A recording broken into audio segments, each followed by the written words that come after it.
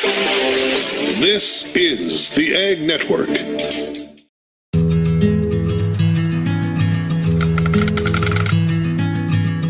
The cost of everything has gone up dramatically over the last 75 years.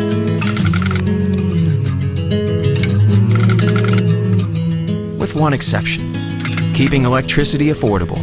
That's the power of your co op membership. Learn more at togetherwesave.com.